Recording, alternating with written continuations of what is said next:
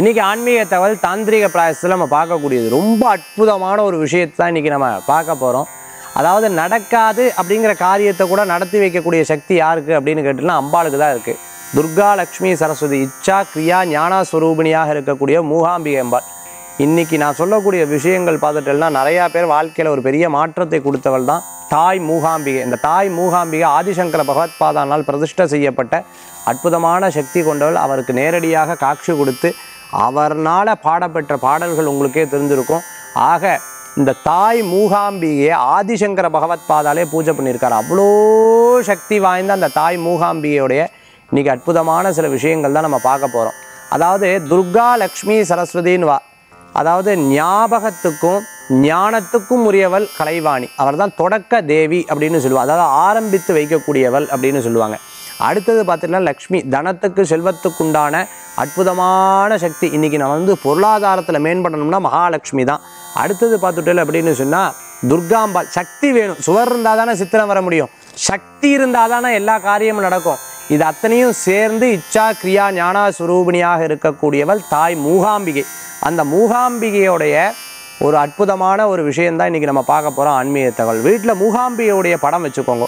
அம்பாளுடைய படத்துக்கு சந்தன குங்குமம் இட்டுக்கணும் அதுக்கப்புறம் பார்த்துட்டேன்னா பிக்ஷிப்பூ மல்லிப்பூ.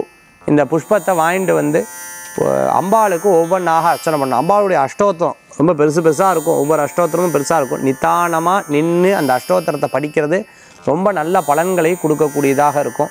அப்படிப்பட்ட அஷ்டோத்திரத்துலேருந்து ரெண்டு மந்திரம் சொல்கிறேன் அப்படி எனக்கு அந்த மந்திரங்கள்லாம் தெரியல அப்படின்னா அந்த அம்பாளுடைய நாமத்தை சொல்லி மூகாம்பிகாய நமகன்னு சொல்லி அர்ச்சனை பண்ணுறது ரொம்ப விசேஷம். முடிஞ்ச அளவுக்கு அஷ்டோத்திரம் படிச்சுக்கோங்களேன். ரொம்ப நல்ல பலன்களை கொடுக்கக்கூடிய அஷ்டோத்திரங்கள்லாம் இருக்குது இன்றைக்கி அந்த அஷ்டோத்திரத்துலேருந்து ஒன்று ரெண்டை பார்க்க போகிறோம் ஓம் ஸ்ரீ நாதாதி தனூத்ர ஸ்ரீ மகாலட்சுமியை நமக. பவபாவித சித்தேஜ ஸ்வரூபாயை நமக. கிருதானங்க பதகோடி சௌந்தர்யாயை நமக. இப்படி அம்பாளுடைய மந்திரங்கள் ரொம்ப விசேஷமான அஷ்டோத்திர நாமார்ச்சனையாக வருது. இதை பூஜை பண்ணி தீப ஆராதனை அம்பாளுக்கு அப்படி இரண்டு கையில் தீபாராதனை காண்பித்து ஆராத்தி எடுத்து நெய்வேத்தியம் வந்து பார்த்துட்டேன்னா சக்கரை பொங்கல் நைவேத்தியம் பண்ணலாம். இப்படி வெள்ளிக்கிழமை வெள்ளிக்கிழமை பதினோரு வாரங்கள் மூகாம்பிகையோட வழிபாடு பண்ணுங்க. தினந்தோறும் சுவாமியை வேண்டுங்க. இல்லை நான் ஒரு நூற்றி எட்டு நாள் எடுத்து மூகாம்பிகை பூஜை பண்ண போகிறேன்னு எடுத்து பண்ணி பாருங்கள் எது நடக்காது அந்த காரியம் நடக்குங்க. ரொம்ப வெற்றி பெறும். நீங்கள் அம்பாளோட வழிபாடு பண்ணி பாருங்க.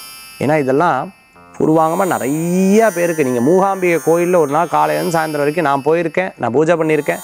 நிறையா பேர் சொல்கிறத நம்ம கேட்டிருப்போம். நீங்கள் பண்ணி பாருங்கள் பெரிய மாற்றங்கள் கொடுக்கக்கூடிய அந்த தேவியை அந்த தேவியின் சக்தியை நீங்கள் பார்ப்பேன். மீண்டும் நாளை சந்திக்கும் வரை உங்களிடமிருந்து விடைபெறுவது ஜோதிஷாச்சாரியா ஜோதிஷ கலாரத்னா மகேஷே. வேல்வேல் முருகா. வெற்றிவேல் முருகனுக்கு கரகரோகரா நன்றி.